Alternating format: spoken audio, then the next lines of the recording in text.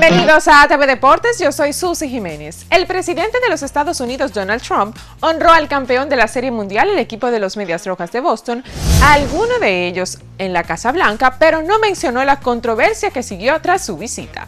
El dirigente del equipo, Alex Cora, no asistió a la ceremonia luego de citar su frustración por los esfuerzos de la administración para ayudar a Puerto Rico a recuperarse del huracán María en el 2017. Casi una docena de miembros del equipo, todos jugadores de color, dejaron pasar la oportunidad de estrechar la mano de Trump. Mientras tanto, asistieron todos los jugadores blancos del equipo, así como el jardinero JD Martínez, quien es de ascendencia cubana. Los Medias Rojas en repetidas ocasiones negaron que hubiera habido algún tipo de división racial causada por la visita a la Casa Blanca, que se ha transformado de un momento de ritual de celebración a un evento hiperpolitizado bajo Trump y no hubo señales de discordia durante la ceremonia de la lluvia en la Casa Blanca de Southland.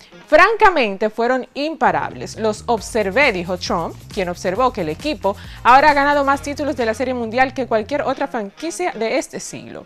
Se rió cuando JD Martínez se burló de él por ser un fanático de los Yankees. Algunos de los jugadores, incluyendo los dominicanos Rafael Deves, Eduardo Núñez, no estuvieron eh, pues de acuerdo en asistir a la Casa Blanca. Los que sí fueron dijeron que no saben si esa es la última o la única oportunidad que tienen de visitar la Casa Blanca a propósito de un título de serie mundial y quisieron aprovechar la oportunidad.